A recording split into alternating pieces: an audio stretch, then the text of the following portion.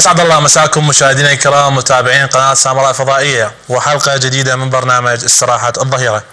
مثل ما تحدثنا بالحلقات السابقة عفوا عن موضوعنا التفاعلي ومهم جدا هو إحنا اليوم ما نريد نبث شغلات سلبية ولا نتحدث عن مواضيع سلبية إحنا اليوم بالعكس نريد نقدم شيء إيجابي للعراق نحاول نقدم آه شبابنا يقدمون كل طاقاتهم وإبداعهم في مجال تخصصهم حرفهم في خدمة هذا البلد، إحنا اليوم ما نريد نذب اللوم كله على الحكومة، ما نريد نقول الشخص الفلاني هو المتسبب ولا الشخص الفلاني، إحنا اليوم نريد نبني نعمر، فبالنتيجة لازم نعبر هاي الخطوات، لازم نعبر موضوع إنه إحنا الشخص الفلاني سبب دمارنا، الشخص الفلاني ما يخلينا، الشخص الفلاني، إحنا اليوم كل شخص لو بدا من قدام باب بيته يعمر اللي مقابل بيته اذا الشارع منبلط يسوي ممكن على قد هاي. ممكن يتفق ويا كل أصحاب المنازل اللي موجودين بالمنطقة من أجل إعمار الشارع الخاص بهم. صدقوني راح تبدي بشارع. بعدين تصير مدينة كاملة. بعدين بغداد بشكل عام. بعدين المحافظات. بعدين بعدين يوصل البلد المكانة كلش حلوة. مكانة إحنا اللي نتمنى يكون بها بلدنا الحبيب العراق. فبالنتيجة اليوم إذا بدينا بنفسنا صدقوني الحكومة تلقائيا راح تبدي هي تتصرف على هالأساس وتحاول تحافظ على الخدمات اللي أنتم سويتوها مجانيا واللي دفعتوها من جيوبكم الخاصة في سبيل تعيشون حياة كريمة وما بها أي مشاكل. فموضوعنا راح يكون في الفقرة التفاعلية لهذا اليوم تابع للحلقات السابقة وهو شلون ممكن نساهم بتغيير جزء من السلبيات اللي نشوفها أو شنو الشغلات اللي شفتوها بدول ثانية وتتمنون أن تكون هاي الشغلات موجودة اليوم في العراق هذا الموضوع التفاعلي اللي راح آخذ مشاركاتكم وتعليقاتكم من خلال صفحتنا على الفيسبوك صفحة برنامج استراحة الظهيرة وأيضا من خلال اتصالات على الأرقام اللي راح تظهر في الفقرة التفاعلية. أما الآن مشاهدينا خلونا ننتقل لأولى فقرات برنامجنا وهي أخبار الصحف.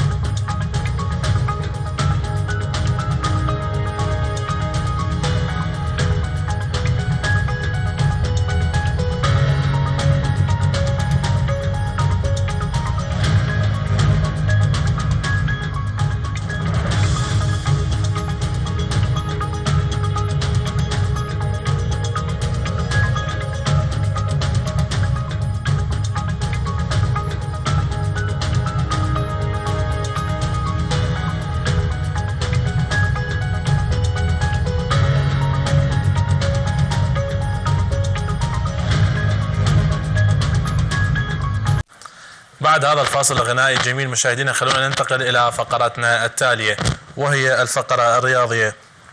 دائما أحاول أختار لكم تمارين أه تجينا عليها استفسارات كثيرة واللي هي يعاني منها مجتمعنا اليوم العراقي بالتحديد وهي مواضيع أه أكيد السمنة وتخص منطقة البطن بالتحديد. يعني اليوم إحنا نعاني من موضوع الكرش أه بشكل كبير بسبب أكلاتنا العراقية الدسمة اللي هي اليوم ريوقنا دسم غدانا دسم بالإضافة للعشاء أيضا دسم فبالنتيجة أكيد صار عندنا كرش. فاليوم جايب لكم تمارين ست تمارين رياضية للحصول على جسم رشيق وبطن مشدودة بسرعة. خلينا نشاهد. مشاهدينا الكرام من جديد إن شاء الله تكون التمارين اللي شاهدتوها اليوم تستفادون من عندها طبعا جدا مهمه اليوم ولكن من الضروري أن تعرف شغلة مهمة جدا. أنت اليوم تريد تمارس هاي التمارين كبداية لك راح يكون صعب ممكن تصير عندك تشنجات. لهذا أنت اليوم ما تأخذ هاي التمارين مرة واحدة ابدي بها تمرين تمرين.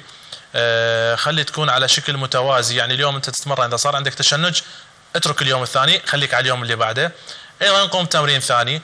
لمدة أسبوعين تقريبا راح تفك عندك تشنجات وبالنتيجة تقوم تقدر تمارس هذه الرياضة بشكل طبيعي. طبعا هذا الموضوع آه مهم إنه أنت اليوم لما يكون وزنك عالي جدا تحرق دهون يعني تمشي لفترة معينة مثلا ثلث ساعة. طبعا هو يفضل يعني آه علميا آه يقول لك إنه أنت اليوم إذا تريد تحرق سعرات حرارية تمشي أقل شيء لمدة 30 دقيقة يعني هو الحرق يبدي بعد 20 دقيقة عملية الحرق. فبالنتيجة حاول تمشي 30 دقيقة 40 دقيقة بعدها قوم بعملية تمارين المعدة. أما الآن مشاهدينا خلونا ننتقل لموضوع جدا مهم وهو صيدلية المنزل. أغلبنا اليوم منازلنا بالعراق ما عندنا صيدلية بالمنزل. ممكن تلقى أدوية الضغط هاي أوكي بس أكو شغلات أساسية لازم تكون موجودة. يعني لا سامح الله صار ويا قدر انجرحت إيدك صارت ويا طفل حالة معينة لازم تكون عندك مواد أساسية اللي هي يسموها صيدلية المنزل تكون موجودة عندك البيت لا سامح الله صار وياك أي قدر تكون على الأقل إنه أنت مجهز نفسك بأبسط الأمور الأساسية لحين ما تتخذ الإجراء الطبي الصحيح أو المناسب أو تذهب إلى المستشفى. فبالنتيجة هذا يفيدك جدا موضوع صيدلية المنزل. ما راح احكي هواي عن هذا الموضوع لأنه دكتورة طيب فاروسي حكت لنا عن هذا الموضوع بشكل مفصل. خلونا نشاهد ونرجع لكم.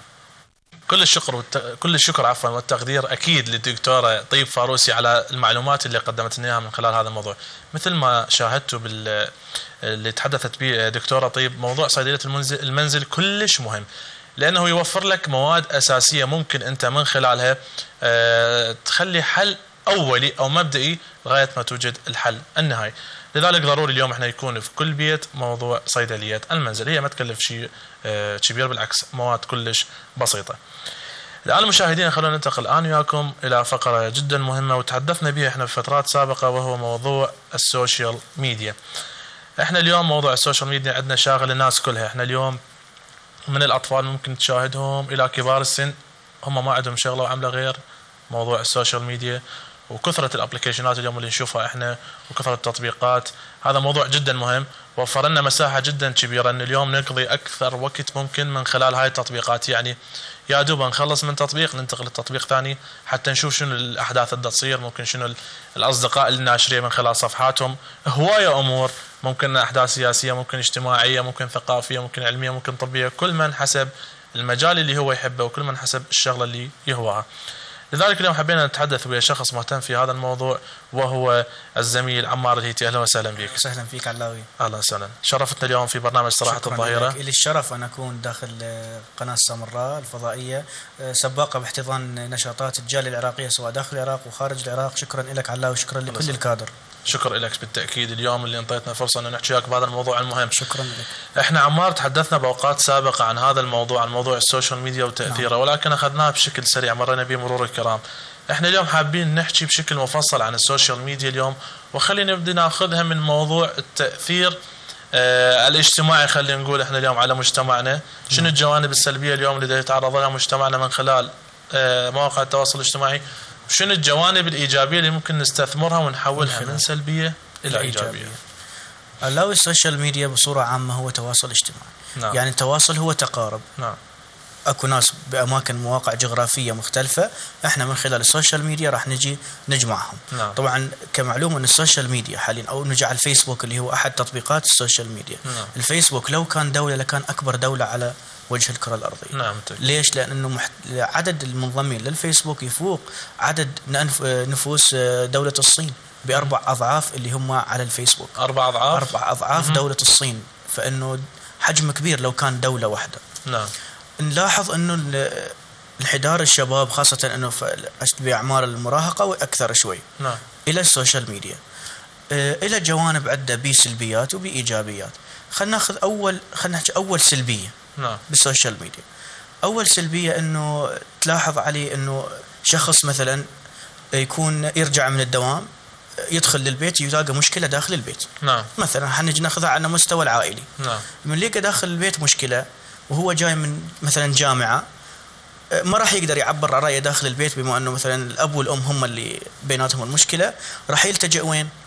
إلى الغرفة راح يفتح الفيسبوك لابتوب أو تليفون راح يبدأ يعبر عن شنو؟ يشعر بالحزن يشعر بالضيق يشعر باليأس. بكل شيء يشعر به راح ليش؟ المنصة الوحيدة نعم. بالحياة اللي تخص هذا الشخص يقدر يعبر عنها بطلاقة وبصراحة. زين انت بما نتحدث هذا الموضوع. خليني شوي أقاطعك يا عمار. نعم. موضوع اليوم إحنا ننشر كل شغلاتنا اللي نعيشها اليوم حياتك انت اليوم بدك تعيشها كلها أنا انشرها للناس. نعم. زين انت ممكن اكو اشخاص صحيح انت اصدقائكم وهاي بس ولكن أيضا موجود أشخاص انت اليوم ما تعرفهم يجوز لايك فيك مسوي لك اد في سبيل أنت تكثر أعداد. الأصدقاء عندك بالفيسبوك ال followers بالإنستغرام أو بالسناب شات بالنتيجة تضيف. زين هذول مجبور انت تنشر لهم كل شيء تسويه بحياتك اليومية ممكن اكو ناس تحسدك ممكن اكو ناس بيسلبي. الموضوع نعم هذا إيه. جدا بيسلبي لكن إنه أحيانا ما أنت تك... هسه إحنا جايين نسولف بما إنه إحنا فترة رخاء بالضبط. لكن الشخص اللي يكون عنده المشكلة ما راح يفكر تفكيري وتفكيرك راح يكون بس مجرد يعبر عن رأيه عندما يكتب الحزن اللي هو بيه أو الضيق اللي هو بيه بعد لحظة عندما ينطي بوست ويتصفح على جدران اصدقائه راح يظهر عنده صديق ناشر إنه هو وعائلته طالعين رحلة. هو وعائلته طالعين يتغدون هو وعائلته يكون ينشر سعادته فهو إيش راح يصير عنده هنا؟ راح يصير عنده رد فعل. هو نشر تعاسة. صديقه إيش نشر؟ فرح. وفرح نعم. شنو الشعور اللي دا يكون به إنه طبعا ما يحسد عليه هذا الشعور هو؟ بلحظة إنه تنشر أنت تضيق وصديقك نفسه ناشر فرح فأنت راح تمر بأزمة نفسية. هنا راح تودي اكتئاب هنا راح تودي انطواء. صارت سلبية. لكن وين مشاكلها ترجع؟ هاي مشاكل موضوع اجتماعي ندخل فيه إنه لازم نبرمج العائلة إنها تكون سعيدة إنها تكون بعيدة عن المشاكل في سبيل الشاب أو الشابه خاصة الصبية إنه ما تقدر مثل ال- الولد إنه يكون بس مجرد نشر وبعد شوي طلع مع أصدقائه. نسى الموضوع لكن الصبية جدا موضوع يائس بالنسبة لها عندما تشوف صديقتها ناشرة خاصة موضوع الموضوع- الغيرة. هل هو الموضوع إنه اليوم اي مشكلة عائلية تصير بين مثلا والد مثلا أنا اليوم والدي ووالدي صارت مشكلة بيناتهم نعم. أو مثلا آه والدي وأخويا مثلا أو أختي وأخويا على سبيل المثال. هل إنه هذا سبب يخليني أنا ألجأ للسوشيال ميديا وأعبر إنه أنا فلان طب هو إحنا اليوم كل بيت يصير بمشاكل. ليش ألجأ أنا للسوشيال ميديا انشر هاي المواضيع؟ آه، ما عنده متنفس ثاني هاي وحدة ومو إلا مشكلة داخل البيت يعني أنت نعم. متضايقة من العمل إحنا نلاحظ هسه حاليا إنه صديقك يشعر بالأمل محتمل يشعر بالأمل إيه، نعم. يشعر بالجوع يشعر بالغضب حاطي لك هم الفيسبوك. يشعر بكل شيء يقدر اي أي شيء بحياتك تقدر أنت تختاره ليش تختاره ليش ما إنه أنت تكتبه داخل نفسك لأن ما عندك وسيلة ثانية تعبر بها إلا من خلال الفيسبوك غير هذا ناخذه من ناحية إيجابية أو إنه نلاحظ هسه دائما يقال إنه الفيسبوك هو إدمان نعم سامع أكيد هو السوشيال ميديا بشكل عام يقول لك السوشيال أنت اليوم ميديا على الإنترنت بشكل عام مية في المية نعم. ومن غير تعاطي آه. يعني إحنا نعرف الإدمان إما من خلال drink الشرب نعم. أو من خلال التعاطي بطرق أخرى فيصير عندنا إدمان نعم. شلون يصير أنت عندك إدمان على شيء أنت ما تتعاطاه ما يدخل جسمك زين هنا نن- ننقل على نقطة إيجابية بالسوشيال ميديا أكو هرمون اسمه الدوبامين مم. هو هرمون المكافآت بالعربي. مم. هرمون المكافآت إمتى يشتغل؟ عندما تاكل حلو أو ما تسمع شيء مدح إلك أو أنت تمدح نفسك. تمام. من خلال الفيسبوك وصلت مواقع التواصل الاجتماعي كل ما يزيد عدد ال followers عندك على الإنستغرام وعلى فيسبوك أو أنت تنزل صورة والناس تبدي تعلق لك بطريقة مدح أنت شو يسوي عندك هذا الهرمون؟ راح يبدي راح يبدي يفرز. عندما يفرز هذا الهرمون انت راح تتعلق وكأنما قاعد تاكل إش يف ينف كمان أيضا يفرز عندما تاكل شيء حلو شوكولات أو كاكاو أو, إلى آخره. تلاحظ مدمنين الشوكولاتة هواي. ليش يفرز عندهم هذا الدوبامين؟ من يفرز الدوبامين إيش راح يصير؟ راح يصير إنه ما أقدر أترك التطبيق بحيث أنتقل من الفيسبوك للإنستغرام من الانستغرام للسناب شات في سبيل أريد النوب طاقة. أريد طاقة منك. أنت المعلق اللي راح إيه. تعلق لي. أريد منك طاقة بعد. زين سؤال. أنا هاي الشغلات الإيجابية اللي تقول عليها والدو- الدوبامين الدوبامين. دوبامين. دوبامين أنا اليوم ما أقدر أحصل عليه مثلا أنت اليوم صديق أنا أسولف وياك ممكن انت تمدحني. مو شرط أنا اليوم على الفيسبوك حلو الكلام. ممكن مواقع التواصل الاجتماعي. حلو الكلام.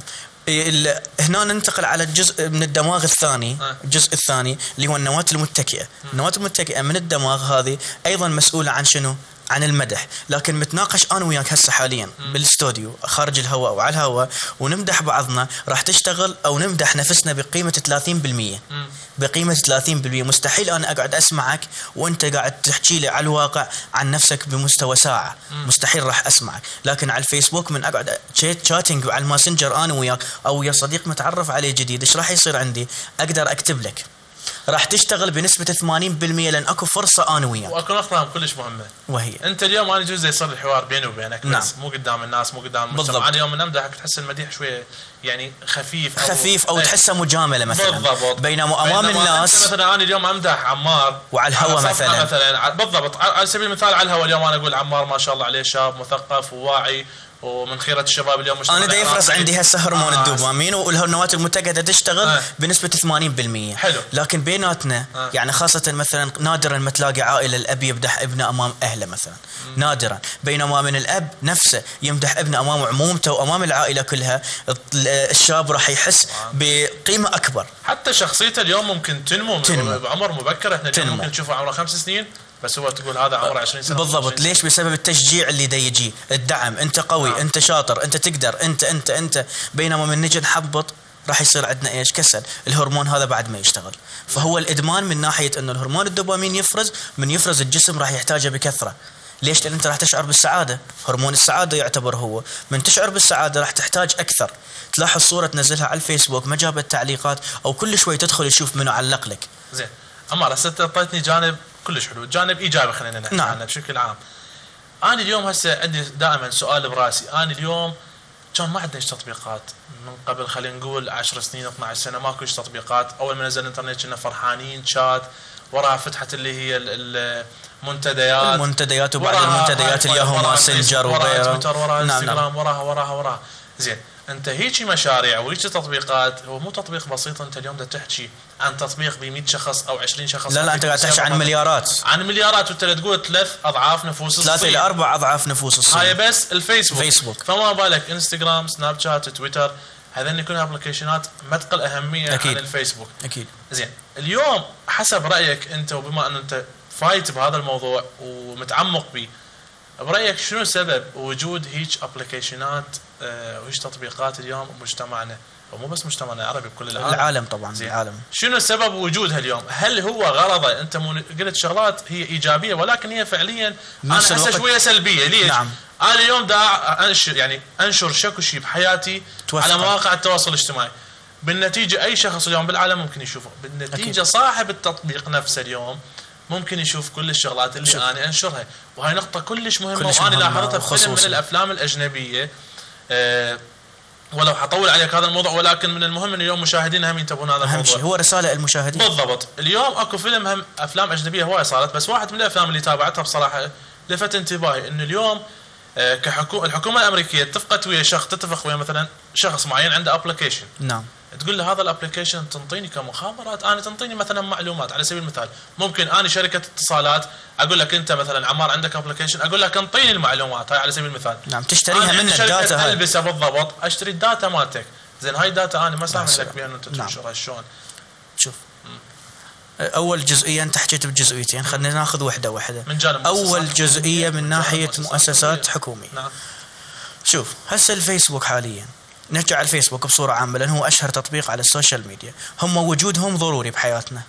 وجودهم ضروري. وهم نقطة نقطة أم آه لازم أعلق عليها، أنت لاحظت المحاكمة اللي صارت صاحب فيسبوك بسبب اختراق بسبب موضوع آه، لأمريكا. بأمريكا. نعم. فبالنتيجة لزموا بها هاي السالفة. 100% أنه أنت واحد شوف. ثلاثة عندك. آه، أي شيء باستخدام علاوي أي شيء باستخدام راح يكون ذو سلاح ذو حدين صح؟ نعم. تقدر تستخدمه بالزين. وبالمو زين بالتأكيد. طيب نجي على الز- المو زين إحنا حاليا بدنا ننشر. مم. أنت تنشر وأنا أنشر. الفيسبوك بيه خاصية. دا يعرف أنت وين تروح وش تاكل وتشرب ويا من وشنو شعورك وشخصيتك متسرع متهور عصبي هادئ رومانسي كاذب. صادق أكثر من أهلك. نعم. في حين وصلت درجة علي إنه هسه حاليا أكو شركات إحنا بدنا نحكي خارج الشرق الأوسط ما نحكي بالش- بشكل عام بشكل عام عام. بشكل عام نعم. حاليا أكو شركات أنت كموظف. ت- أنت مقدم برنامج تروح تقابل بقناة معينة في سبيل تقبلك أو ترفضك نعم. أول سؤال يسألك إياه قبل اعطيني هاي data وعبي بياناتك هسه شكرا انطينا حسابك على الفيسبوك موجودة موجودة يدخل على حسابك بالفيسبوك شو يسوي ينطي تطبيق معين يحلل لك شخصيتك. من خلال التعليق اللي تعلقه من خلال الصور اللي تنشرها من خلال خصوصيتك وين الأماكن اللي أنت تدخلها غالية لو رخيصة. أنت تسوي check in أنا بمطعم فلان هو أخذ data أنت تقود سيارة مرسيدس. أنت دخلت على صفحة فورد. أنت تروح على مط- دائما المسافر إلى في مطار. فلان. أنت جمعت عنك data وسلمتها تفضل أخذ. و data حقيقية data حقيقية. آه. أنت من تجي شو تسوي؟ هسه حاليا الفيسبوك من أريد أشغل إعلان ممول لشركة بحكم وظيفتي عملي. نعم. أسأل صاحب ال brand هل أنت تذو الطبقة المتوسطة لو الفقيرة لو الغالي لو الغنية نعم. شلون تقدر؟ اولا أقدر أعرف تليفونك اللي أنت فاتح بيه آيفون إكس مثلا آه. أقدر أعرف أنت كم coffee shop تدخل غالي five star باليوم كم فندق تسافر لو ما تسافر راح أعرفك أنت من الطبقة الغنية اللي تدخل على التنزيلات وتدور تصفيات و outlet شو راح تدخل على الطبقة ال low ممكن low ممكن وسط. ممكن ال low والوسط نعم، بس نعم. قدرت أوصل للمقابل. شنو شخصيته؟ أكو شركة عندك. بالضبط أكو نعم. شركة تأمين حاليا ما توافق على إعطائك تأمين سيارة إذا أنت ما تنطيها الفيسبوك وتدخل. هل أنت متهور متسرع تمشي سريع؟ وين السيارات تروح؟ الأماكن اللي تروح لها؟ هل تطلع غابات تطلع أماكن؟ ومثل ما قلنا بالبداية أنت اليوم ما صار حياتك خاصة بك. ابدا ابدا صارت حياتك أنت حياتك. كل خصوصيتك ملك الفيسبوك. بالضبط ملك مو بس ملك ال application ال application كله- كله بإمكاني أن أوصل. الحين وين ننزل اليوم مثلا عمار اليوم وياي باستوديو قناة سامراء عمار ينزل على سناب شات وعلى إنستغرام بسامراء الكل. علي اليوم مثلا طلع سفر المكان معين أنزل على سناب شات على إنستغرام على. الفيسبوك على تويتر بالنتيجة ما راح أخلي شخص ما يعرف وين. المية. وهذا أنا بصراحة أعتبره شيء سلبي جداً. ليش؟ لهذا اليوم أغلب الفنانين نشوفهم يحاول يعني يتحدى نفسه يقول لك أنا أحاول أبتعد عن موضوع إنه أنزل يوم كامل ما راح أنزل كل شيء على مواقع التواصل الاجتماعي تحدي. ولا أفتح إنترنت تحدي. آه تحدي صار تحدي شوف. الموضوع إنه أنا اليوم أقدر لو ما شوف أقدر حتى أربط بكلامك صار تحدي صح؟ بما إنه صار تحدي يعني أكو إدمان بالموضوع نعم. يعني الهرم الفنان من يجيك أكيد راح يجي كله مدح نعم. وفنان و قليل من يجي آه، لا هي تجي. حسب جمهورك. شوف حسب جمهورك. أكثر أكثر من الإيجابي. بالتأكيد. لأن مستحيل أنت فنان وناس تكرهك وتخليهم جمهورك. مستحيل. مستحيل. تجيك مثلا 30% ذم و70% مدح. أنا ذول 70% تشغل عندي الهرمون الدوبامين راح يفرز. أنا أريد. شلون المدخن؟ على 30%. المدخن تتحدى نفسك تدخن لو ما تدخن نفس الشيء صار إدمان. يعني تاكيدا لكلامي إنه صار إنه تنزل لو ما تنزل. صح. اليوم أنا أكتب مغلق للامتحانات أغلب الطلاب يسووها. مغلق الامتحانات بعد ساعة قد ما قدر على نفسه رجع فتح. نقطة ثانية على لازم أتطرق لها موضوع المراهقين. من يستخدم أكثر شيء ال social media المراهقين. الفترة اللي هي تبدي من 12 إلى 18 سنة هم أكثر شيء على الاونلاين شنو سلبيته هنا على المراهقين؟ الشخص بصورة عامة سواء الذكر أو الأنثى بعمر المراهقة راح يبدي يكتسب. أبوه ياخذه وياه يطلعه يعرفه على فلان يعرفه على فلان فلان فلان. هاي العادة التقليدية إحنا عندنا من يصير هيش موقف تصرف كذا تصرف ليش؟ لأن إحنا نقول عليه بالعامية عجينة بإيدك. تقدر تسوي بيه وتصنع من عنده شنو تريد. صح؟ صح. طيب بهذا العمر إذا هو ابتعد عن الواقع والتجأ على ال comment وال share وال like صار كل تركيزه يحفظ كم like إجا يحفظ إيش علق إيش أنشر أي جروب جيب لي صورة عن حزن جيب لي صورة عن حب صورة رومانسية كذا كذا. فابتعد وين؟ ابتعد وين؟ ابتعد عن الواقع. عند ما يصطدم بأي مشكلة هو ما راح يقدر يحلها. صح يلتجئ طيب. للخيال وليس بالضبط. صارت دراسة صارت دراسة أمريكية الدراسة أنه هل هذا سلبي أو إيجابي؟ وصلوا من نتيجة أنه هو صار واقع لازم نتقبله ونتعامل معه. ما تقدر تسحب التليفون ولكن نحاول للأسف لضيق الوقت عمارات اتمنى انه ناخذ بعد نخوض بهذا الحديث لأن الموضوع طويل ولكن إحنا نحاول نسيطر على الموجود أنت مثل ما قلت هو واقع نعم. فبالنتيجة نتعامل وياه. على هذا الواقع نتعامل ويا هذا الواقع بالصدق. هالأساس. نعم. نحن اليوم نتابع أطفالنا نراقبهم شوية ننطيهم الآيباد ممكن أو يستخدمون مواقع التواصل الاجتماعي في سبيل هم يقضون وقت عليه حلو بسبب سوء الأوضاع اليوم بالعراق ما يقدرون مثلا الأطفال يطلعون يطلعون متنزه. المتنفس الوحيد إلك فبالنتيجة صار المتنفس الوحيد. المنصة اللي تعبر أنت بها عن داخلك وحدك. حتى إذا نختب إنه مجرد ما هو هرمون شنو اسمه؟ المكافآت. أنا أتعامل ويا الطفل أو ويا المراهق بنظام المكافآت. نعم. إذا سويت شيء أنطيك. صح. هو كيف على المكافأة مو كيف على الآيباد. تمام. فإحنا نتعامل مع أولادنا بطق... بطريقة المكافآت والحب ونكسبهم ونحاول جهد الإمكان خصوصيتنا نحتفظ فيها في سبيل ما حد يستغلها أشخاص قبل الشركات. نعم. يعني أكو أنا مثلا هسه بنت تجي تشكي لي أنا بإمكاني أن استغل هاي هي نقطة الضعف اللي هي بي وتصير هاي المشاكل حاليا. اليوم أهم شيء عندنا الوعي بمواضيع مواقع التواصل الاجتماعي بالضبط بالضبط. يعني نعرف نتعامل وياها بالضبط. علميا. بالتأكيد. عمار أنا جدا سعيد اليوم بلقائك حلو اليوم أنا أشوف فيك شباب واعي ومثقف وجيلنا إحنا اليوم هو الجيل اللي يبني هو الجيل اللي أكيد أكيد. هذا البلد. إحنا راح نبني. هذا الجيل بالضبط. فإحنا اليوم لازم نكون واعين نعم. ومثقفين نعم. بكل شيء يصير بحياتنا سواء في السوشيال ميديا في حياتنا الخاصة اللي نعيشها بكل شيء بكل شيء. وأتمنى إن شاء الله يكون لنا لقاء بحلقة أكيد طبعا إن شاء الله ونخوض بمواضيع أخرى. آه، مشاهدينا هنا نكون وصلنا أنا وياكم لختام حلقتنا لهذا اليوم. وختامها مسك كان مع آه، عمار الهيتي بالتأكيد. آه، أما الآن مشاهدينا ننتقل إلى آخر فقرات برنامجنا وهي حدث في مثل هذا اليوم وألقاكم في حلقات قادمة إن شاء الله. إلى اللقاء.